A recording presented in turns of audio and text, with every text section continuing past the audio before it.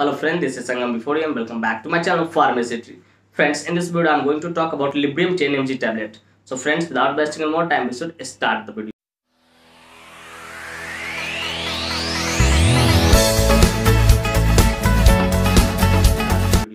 Friends video को शुरू करने से पहले कुछ बातें मैं यहाँ पे शेयर करना चाहूँगा जो कि आपके लिए एक तरह से वार्निंग है फ्रेंड्स यह वीडियो सिर्फ़ जानकारी को उद्देश्य से बनाया गया इस वीडियो को देखने के बाद कोई भी मेडिसिन आप खुद से न ले कतई self medication friends actually don't support self medication at all so before taking any medicine you must consult your doctor कि कोई भी दवा लेने से पहले आप अपने डॉक्टर से ज़रूर कंसल्ट करें। तो फ्रेंड्स चलिए वीडियो की शुरुआत करते हैं। फ्रेंड्स आज का हमारा टॉपिक है Librium ten M tablet friends Librium ten M tablet एक बहुत ही शानदार, बहुत ही प्रचलित मेडिसिन है, जिसका इस्तेमाल सीवर एंजाइटी को ठीक करने के लिए किया जाता है।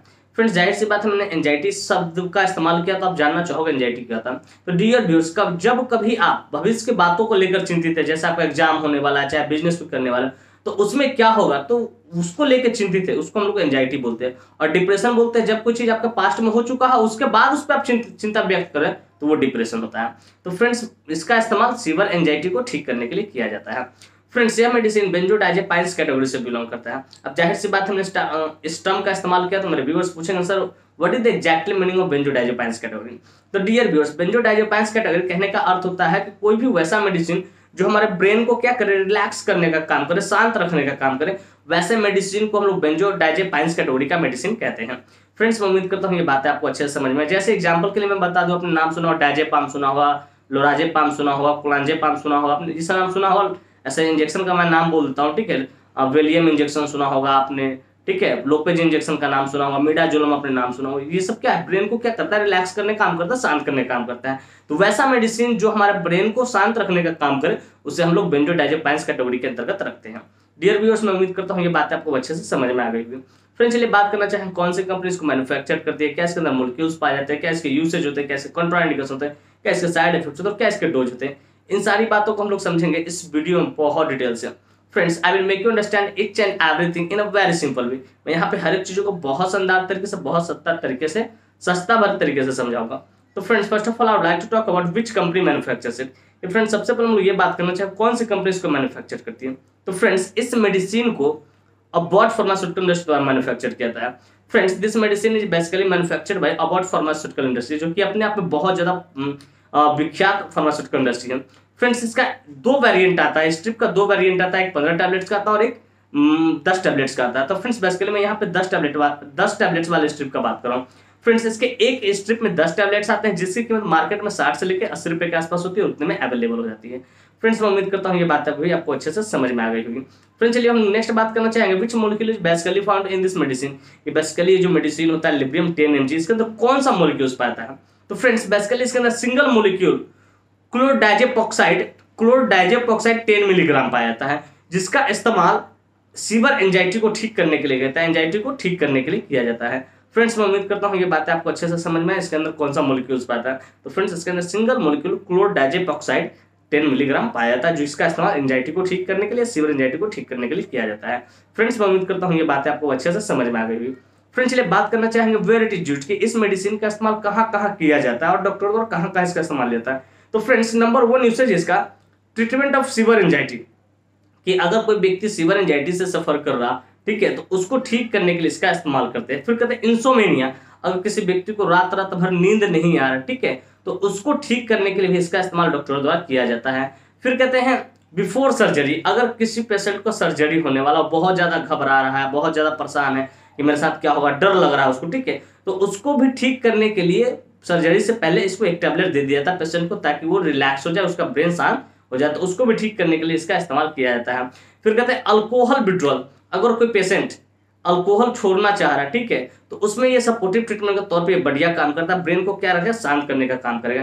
फिर कहते हैं alcohol withdrawal syndrome treatment of alcohol withdrawal syndrome अगर किसी व्यक्ति ने अल्कोहल छोड़ दिया, उसके बाद जो इसको परेशानी हो रही तो उसको भी ठीक करने के लिए इसका इस्तेमाल किया था लेकिन अगर मैं अपने नॉलेज के आधार पर कहूँ, अनुभव के आधार पर तो इसका इस्तेमाल एंजाइटी तो होता ही इंसोमिनिया होता ही, लेकिन जब आप अल्कोहल विड्रॉल करोगे, तब उसके बाद ये सारी परेशानी होना शुरू हो जाता है। आपको नींद नहीं आएगा, बहुत ज़्यादा एंजाइटी हो जाएगा सिविल एंजाइटी हो जाएगा, ठीक है, घबराहट तरह को होने लगे।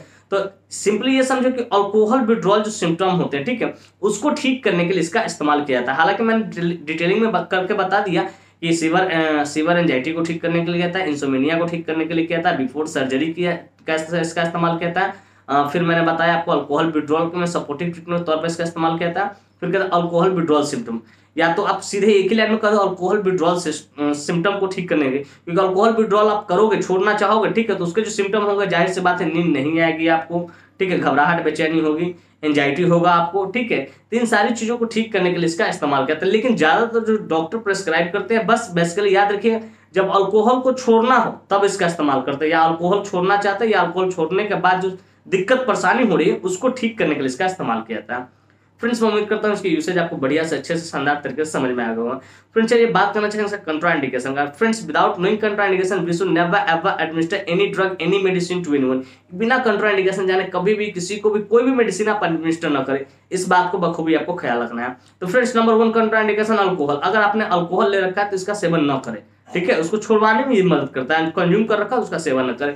प्रेग्नेंट लेडी और ब्रेस्ट फीमेल अगर कोई महिला प्रेग्नेंट है, ठीक है, और या कोई महिला अपने बच्चे को स्तनपान कराती है, स्त्री, ठीक है तो उसको भी आपको ये नहीं देना है। इस बात को बखूबी ख्याल फिर किडनी डिज़ीज़ किडनी डिज़ीज़ और लिवर डिज़ीज़ अगर कोई patient kidney disease liver disease से सफ़र कर रहा है तो उसको भी आपको नहीं देना बिना डॉक्टर से कंसल्ट किए। क्योंकि डॉक्टर ही डिसाइड करेंगे सुटेबल डोजेस का क्या होगा। फिर क्या न्यूरोलॉजिकल प्रॉब्लम अगर किसी को न्यूरोलॉजिकल भी प्रॉब्लम है तो उसमें बिना न्यूरो से मिले, ठीक है न्यूरो सर्जन हो या न्यूरो फिजिशियन से मिले आप मेडिसिन को, न दे इस बात को बखूबी ख्याल तो फ्रेंड्स बेसिकली इसके इतने सारे कंट्राइंडिकेशन होते हैं। इस कंट्राइंडिकेशन को आपको याद रखना है। ऐसा कंट्राइंडिकेशन किसी पेशेंट में दिखे तो आप उसे एडमिनिस्टर नहीं करेंगे। फ्रेंड्स मैं उम्मीद करता हूँ कंट्राइंडिकेशन आपको बढ़िया से अच्छे से शानदार तरह समझ में आएगा। फ्रेंड्स चलिए बात करना चाहेंगे साइड इफेक्ट्स के बारे में। फ्रेंड्स हर मेडिसिन का थोड़ा बहुत कुछ ना कुछ साइड इफ़ेक्ट होता है। ठीक उसी प्रकार इसका भी साइड इफ़ेक्ट है। Number one nausea and vomiting जी मिचलाएगा, उल्टी करने का मन करेगा।